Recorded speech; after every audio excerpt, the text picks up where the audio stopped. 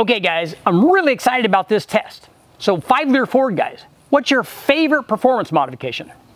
Headers, intake, camshafts, cylinder heads? How about nitrous? What about a turbo? Well, in this video, we test them all individually so we can find out the performance gains from each. Let's get started. In this video, I ran a ton of performance modifications for a 5 liter Ford. Before we could do that, we needed a test motor.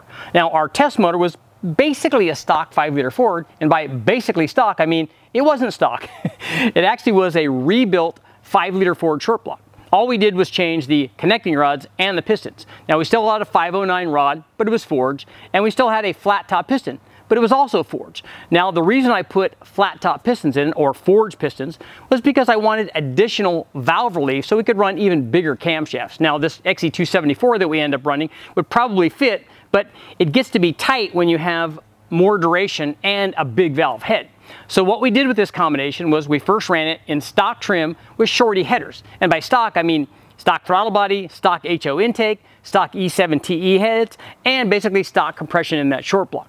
Now, the change in the short block, the forged internals, basically had no effect on power. I mean, this combination with all that stock components made the same power as almost every junkyard motor I've ever gotten out of the wrecking yard. So it was a good starting point. We ran it stock with shorty headers. Then I installed long tube headers. Then I installed a GT40 intake. Then I installed what might be my, my most favorite camshaft for a 5 liter Ford, the XE274HR. So we installed that camshaft. Then we installed a set of ported heads. Then I installed a different intake an extrude hone ported Holley Systemax intake. Then we ran nitrous. Then we installed a single turbo kit. Now, that's a lot of stuff to get through in one video, so let's get going. To get things started, we equipped our 5 liter Mustang. I remember I told you it had four drawage and four pistons, but it had all the stock stuff on it, so stock intake, throttle body, cylinder heads, all that. The one thing that we did do is put valve springs in the stock heads so that we could put the camshaft on with the stock head. So they definitely needed a valve upgrade. But that shouldn't change power very much. We ran these with shorty headers and it's also important to note that shorty header upgrade on a 5 liter Mustang on an otherwise stock 5 liter Mustang worth almost nothing. They look better um, because they're not pinched for bolt access from the factory, but they're worth almost no power. So on the shorty header equipped 5 liter Mustang, it produced 252 horsepower and 306 foot-pounds of torque. So you had a little funky kind of little dual torque peak there. And remember, we test ours with electric water pump, no accessories, no air inlet on the throttle body. We tested it a little bit colder and with an optimized tune. So here's what happened after we replaced the shorty headers with long tube headers. And these were um, basically Hooker Fox chassis, 5 liter Mustang chassis headers.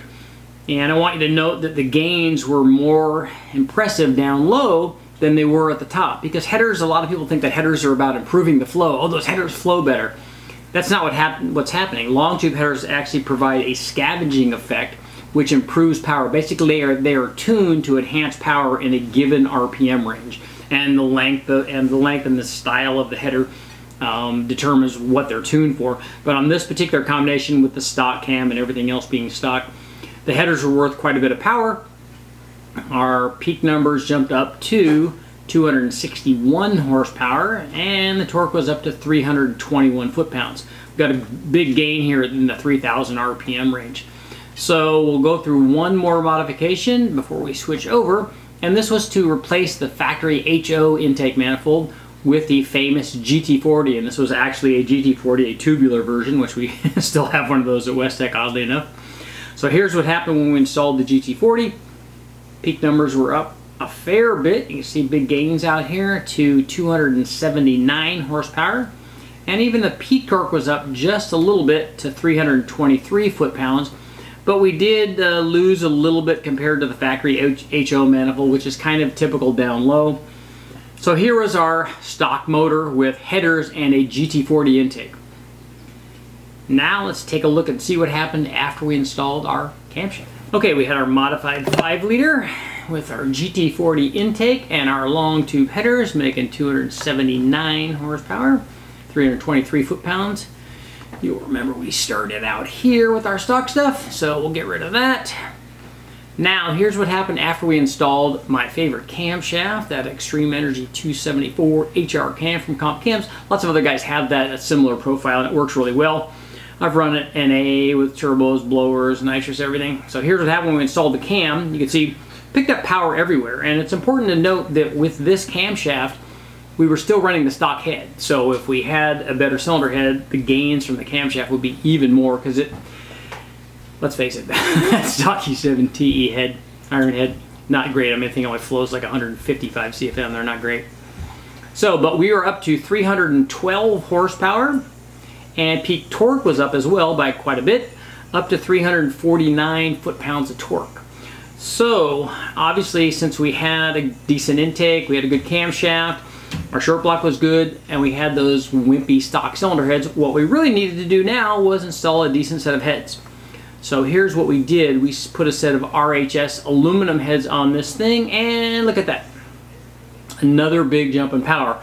And again, and we'll go over this in the conclusion, it's important to note that if we were to swap this, put the heads on first and then the camshaft, the gains, the gains would be greater from the camshaft and less from the cylinder head but any set of heads that you put on here, any kind of ported head. And I did a test on probably 20 or 30 different 5 liter cylinder heads on four different motors long ago for Muscle Mustangs and Fast Fords. I need to do a video on that because I tested basically every single head that I could possibly get my hands on. There's a lot of good data there, so I'll bring that up sometime and do a video on it. But anyway, with our ported heads, the power output was up to 354 horsepower. Peak torque was up also to 378 foot-pounds of torque. So our final combination, our final test, we need to take a look and see what happens after we replace our GT40 intake with an extrude hone ported, and if you're not familiar with the guys from extrude hone, they basically force a viscoelastic elastic polymer, basically it's like silly putty, impregnated with silicon carbide, and they force it back and forth through the passages, and because it flows like a fluid, it finds the parts where there's resistance and it ports those and improves the flow. And it works pretty cool in a lot of instances, especially in these long runner deals. But here's what happened when we installed our Holley Systemax intake. Pow! Big jump in power. So we jumped all the way up to 395 horsepower.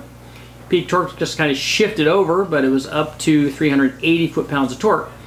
But if you'll notice, even down here below 4,000, that intake manifold lost power and torque compared to the GT40 on this combination. But here we are with our modified combination, making nearly 400 horsepower and 380 foot-pounds of torque. So now it's time for some power adders. Our modified 5 liter was now making close to 400 horsepower, 495 horsepower. 300 or 395 horsepower, 495 would be nice. 395 horsepower, 380 foot-pounds of torque. And if you remember, this is where we came from. This is where it all started out. Down around 250. So we've made some good modifications, uh, good power gain so far. Now let's take a look and see what happened when we installed nitrous. So put a Zex wet EFI kit on it, basically a single fogger nozzle mounted in front of the throttle body uh, in an inlet tube just spraying both nitrous, combining both nitrous and fuel, spraying them directly into our long runner extrude hone ported Holley intake manifold.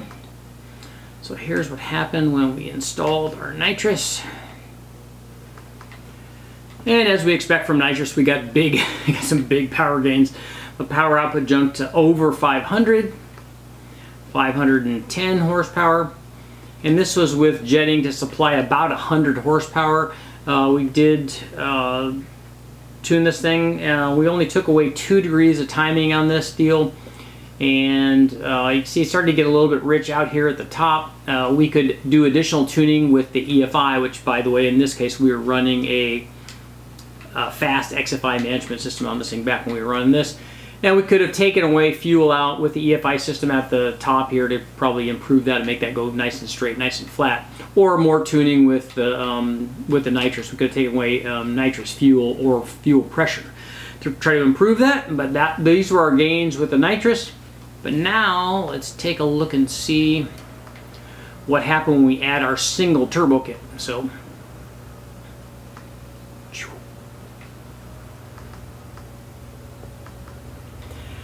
And as you can see, turbo stuff even better. So this was our single turbo from HP Performance back back in the day. It had this one had a Turbonetic 72 millimeter turbo. We had 36 pound injectors and we were running thing made 622 horsepower and torque was way up as well 637 foot-pounds of torque and I'll go ahead and uh, we'll show you what the boost curve looked like on this but and we'll talk about the peak boost and stuff.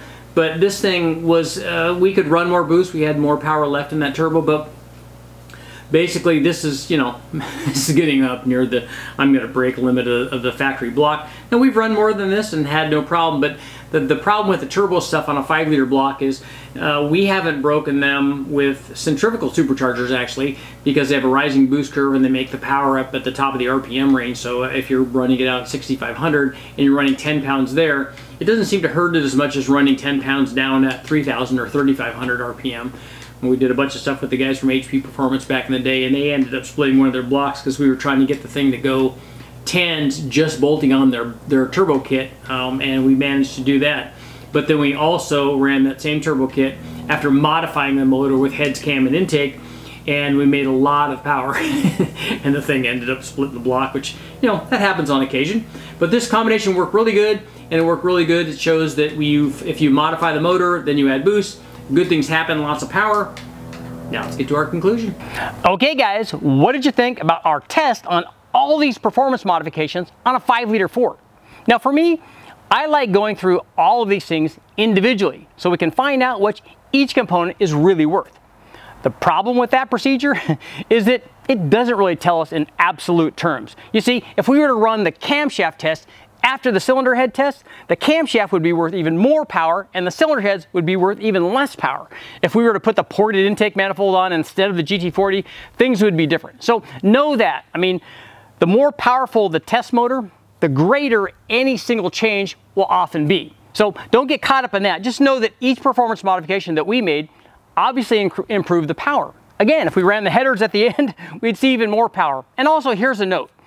Guys that are putting shorty headers on their 5 liter don't expect much power at any power level. I mean, I've run shorty headers a ton of times, probably 15 or 20 times. And every time we run them, they're only worth about this much power.